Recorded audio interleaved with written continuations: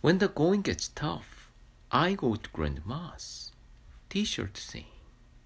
In the cartoon strip, One Big Happy, two children live very near their grandparents. They see them almost every day.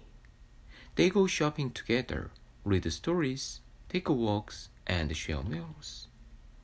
Most of us live too far from our grandparents to spend much time with them. If yours are in another town or state, they would probably love getting a letter from you, even a short one, and you will feel good about writing it. Today, I write a letter to my grandparents or someone else I care about.